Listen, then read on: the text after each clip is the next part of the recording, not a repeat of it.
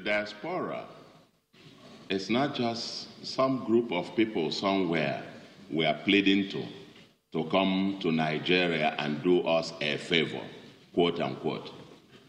My view is that the diaspora population constitutes the other Nigeria, and therefore the development of Nigeria is not a choice, it is a duty.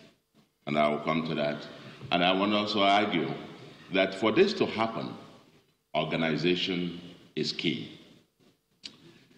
But there is something that distinguishes the diaspora and why they matter so much.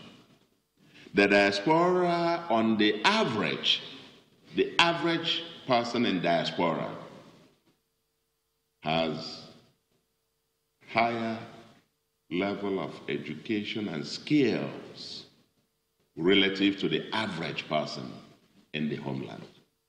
In other words, if you aggregate whether the one point something million dollars in Europe and America um, that you put together, they will constitute the largest concentration of the pool of productive resources amongst Nigerians of any other concentration anywhere else within the mainland.